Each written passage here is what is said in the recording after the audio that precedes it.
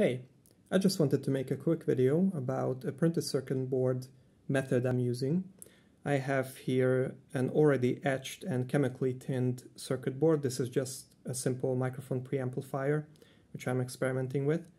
And I want to make a solder mask for it. And this is what I call a poor man's solder mask, which includes just uh, cutting up small rectangles of electrical tape and I'm selecting certain rectangles which fit certain pads and then I'm going to spray paint this with a heat proof paint and then remove these rectangles and hopefully have a decent solder mask.